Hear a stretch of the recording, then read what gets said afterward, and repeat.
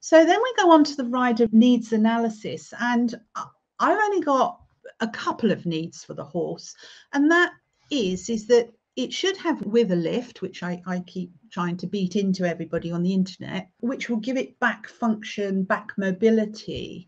But it shouldn't be that when you put a rider and saddle on the horse, it shouldn't be that they block that movement. So that's a very big part of this program is just checking that the horse is moving well. Again, they might need a therapist at the same time as you do to check the posture. But I have included a film there so that you can look at that. So you can check your horse's starting point. So these are the needs whole body symmetry, core stability, hip flexor, extensor, tonal control for a synchronous independent seat. So you need mobile hip joints, in other words, the neutral pelvis.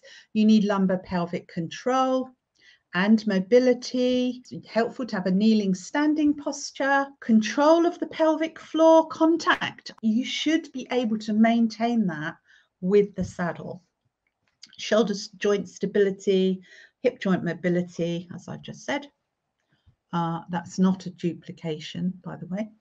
It's just linked with lumbar pelvic mobility. And the knee and ankle are important, so we work those as well.